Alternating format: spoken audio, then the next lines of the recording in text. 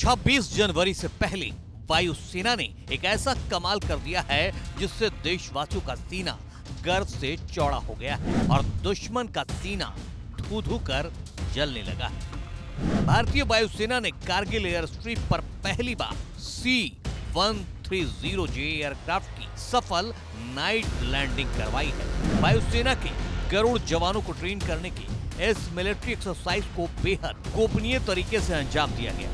इस दौरान एयरफोर्स के गरुड़ जवानों को गुपचुप तरीके से लैंड करने और दुश्मनों पर धावा बोलने की ट्रेनिंग भी दी गई। वायुसेना ने रविवार को सोशल मीडिया प्लेटफॉर्म एक्स पर ट्वीट कर इसकी जानकारी दी। यानी पाकिस्तान भारत सीमा पर वायुसेना अब रात के वक्त भी ऑपरेशन के लिए तैयार है।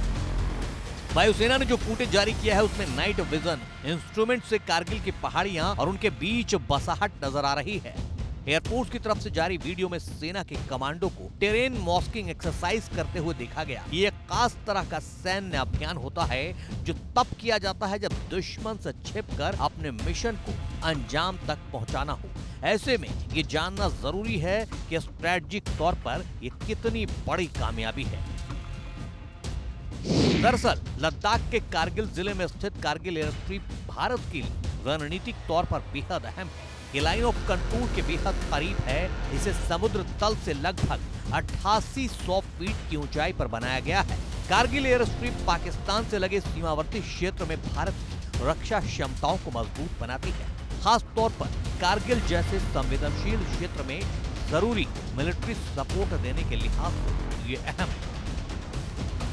लद्दाख की कारगिल में जिस हवाई पट्टी पर सेना ने नाइट लैंडिंग कराई है इलाका, ऊँची पहाड़ियों और घने जंगलों से घिरा हुआ है। ऐसे में यहाँ पर लैंडिंग काफ़ी मुश्किल मानी जाती है और रात के अंधेरे में लैंडिंग करना और भी चुनौतीपूर्ण होता है। विमानों को लैंडिंग के दौरान रात के अंधेरे में न सिर्फ़ पहाड़ों से बचना होता है, बल्कि इसके लिए सिर्फ़ नेविगेशन का ही सहारा लेना पड़ता है।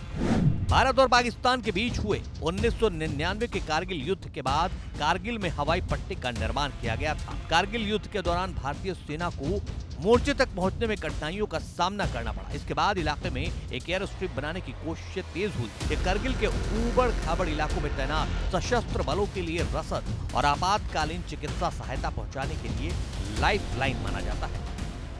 भारतीय वायुसेना के जिन गरुड़ कमांडो को कारगिल एयर स्ट्रिप पर नाइट लैंडिंग के दौरान ट्रेन किया गया, वह बेहद खास गरुड़ कमांडो इंडियन एयरफोर्स का एक ऐसा दस्ता है जो मुश्किल से मुश्किल हालात में भी धावा बोलने में सक्षम होते हैं। ये किसी भी युद्ध क्षेत्र में डटने के लिए ट्रेन किए जाते हैं। गरुड़ कमांडो गोरिल्ला युद्ध करने में पारंगत होते हैं। इन्हें काफ़ी कठिन फ़िज़िकल और मेंटल ट्रेनिंग दी जाती है।